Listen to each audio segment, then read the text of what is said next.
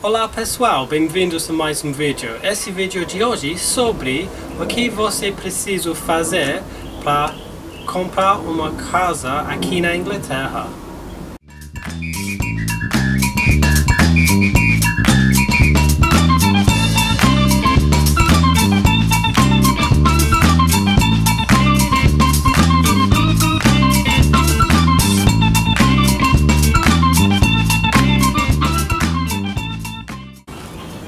Pessoal, nós ficamos um pouquinho, alguns dias aí sem, na verdade umas, umas três semanas sem postar alguns vídeos, mas a razão disso é porque nós uh, estávamos no processo de comprar a nossa casa aqui na Inglaterra, então no processo de compra e mudança, então nós não acabamos ficando sem gravar vídeos e muitas pessoas perguntaram sobre o processo, se nós poder, poderíamos falar um pouco do processo de como é comprar um imóvel aqui na Inglaterra. E nesse vídeo nós vamos falar bem assim, um resumo mesmo de como foi o processo pra gente comprar um imóvel e o que você precisa, mais ou menos o básico, o que você vai precisar com o banco e quais são as etapas que acontecem no processo de compra de um imóvel aqui na Inglaterra. Geralmente, processo demora três meses. Por que três meses? Porque tem uma série de etapas que você precisa passar e você vai estar lidando com um advogado, que nós vamos explicar um pouquinho mais pra frente. É o processo do, do ao banco aprovar o seu financiamento. E também no caso, é, acontece muito, se você compra um imóvel, no caso, se o imóvel está alugado, geralmente você vai precisar é, esperar depois que sai o processo de, do, do, do, depois do financiamento ter sido é, aprovado pelo banco, você ainda tem que esperar a casa, o imóvel, o apartamento ser desocupado.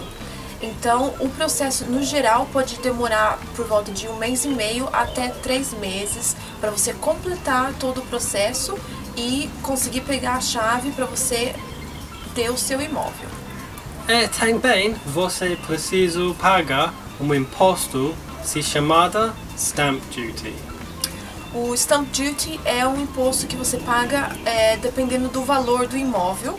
Então, para um imóvel no valor de até 125 mil libras, você não paga nada, é zero de imposto. Entre 125 mil libras e 250 mil libras, você vai pagar 1% do valor total do imóvel entre 250 mil a 500 mil libras, é, você vai pagar por volta de 3% do valor total do imóvel. E se você vai comprar o imóvel no valor entre 500 mil a 1 milhão de libras, o valor do stamp duty vai ser 4%. E também você precisa um advogado.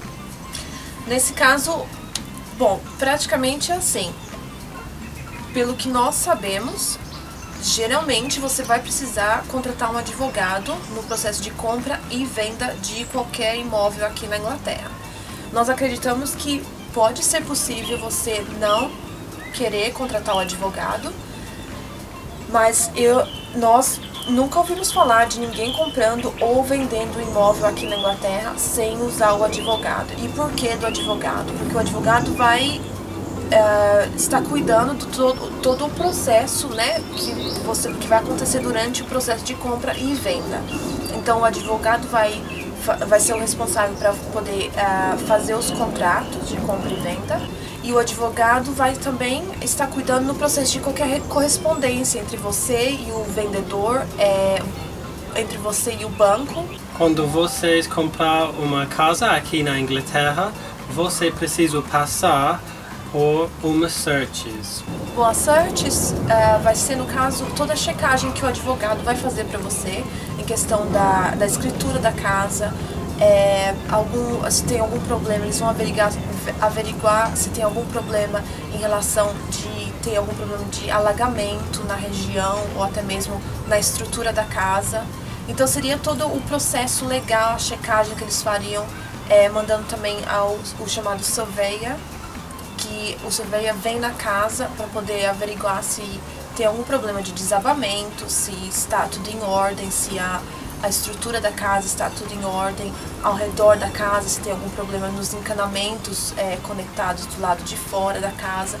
Então é todo esse processo legal que vai ser feito pelo advogado que vai fazer essas searches para você saber que o imóvel que você vai comprar está tudo certinho, de acordo com a lei aqui no país.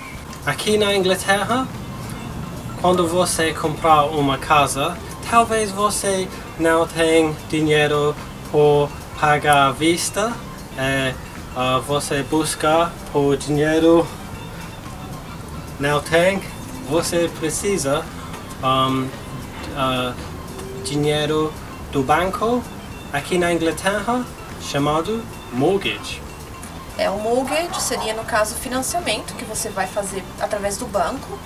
E o jeito que funciona aqui é o banco vai emprestar o valor de até cinco vezes o salário anual da pessoa. Então, por exemplo, uma pessoa que trabalha e ganha por volta de 30 mil libras por ano, o banco vai emprestar até cinco vezes esse valor. Então, para quem ganha 30 mil libras por ano, vai poder pegar um empréstimo de 150 mil libras com o banco.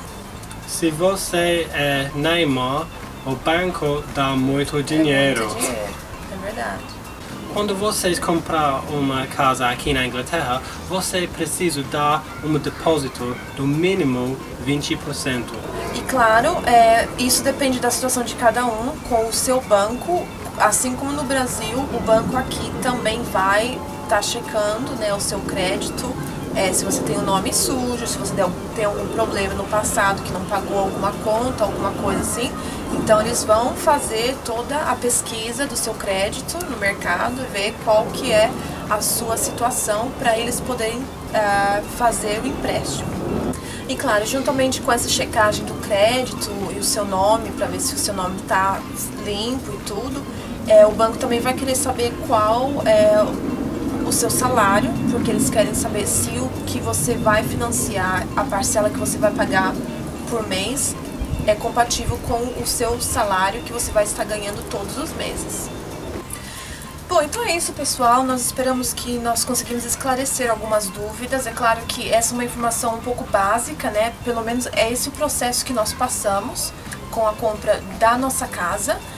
E eles é, geralmente eles dizem que aqui na Inglaterra o processo de, de, compra e venda de um imóvel é geralmente muito estressante, porque o processo de três meses você tem que ficar esperando e lidando com advogado, e isso é tanta checagem na, na, no imóvel, na, na sua, no seu crédito, né?